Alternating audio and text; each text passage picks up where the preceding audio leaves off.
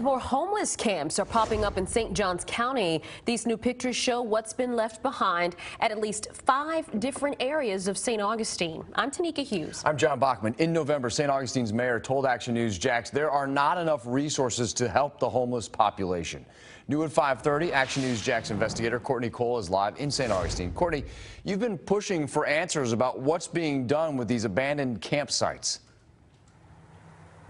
And I'm actually standing in one of the campsites. We're on 207 and 312, and I just want to be able to show you guys what I'm talking about. You can see just how fresh this is. They have like a, a tent set up here, and there are cushions left behind and clothes, signs of life a suitcase here. Now, no one was here and inhabited when we came to check on it, but in the last two hours, I heard from the St. Johns County, I heard from St. Johns County, and they're working on telling me about each of the sites and if they're working to clean any of them up.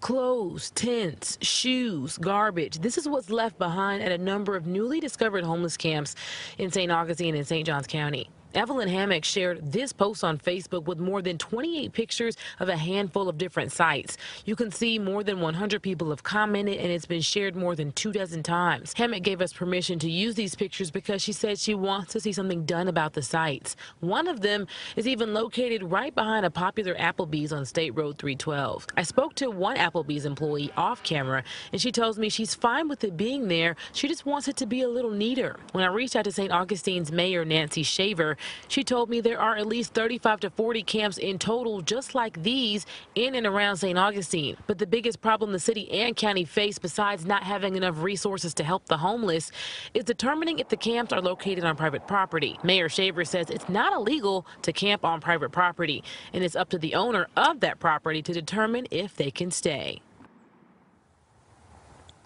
Now, when things are left behind on a property like this one, St. Johns County told me typically they can't get involved until someone files a complaint with code enforcement. And that's why it's so important for them to let me know if they've already started working on some of these sites. Again, there are four to five newly discovered sites by neighbors here in the county. I'm going to continue to work with the county and I'll let you know about the progress of each of those sites, both on air and online on actionnewsjax.com. You can also follow me at Courtney and Jax on Twitter.